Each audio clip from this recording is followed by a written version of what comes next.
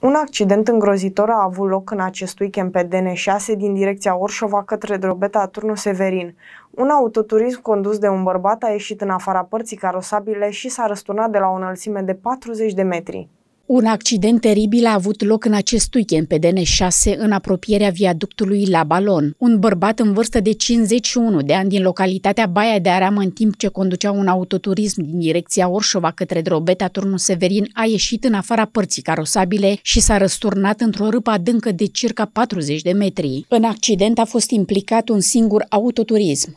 Sâmbătă dimineața, Echipaje de pompieri din cadrul detașamentului Orșova au intervenit pentru salvarea victimei unui uh, accident rutier produs pe drumul național 6 în zona viaductului La Balon. În accident a fost implicat un singur autoturism care a căzut într-o râpă adâncă de circa 40 de metri. O persoană a primit primul ajutor la locul intervenției, acesta suferind un traumatism la mână și a fost predată de către paramedicii smurt unui echipaj SAși.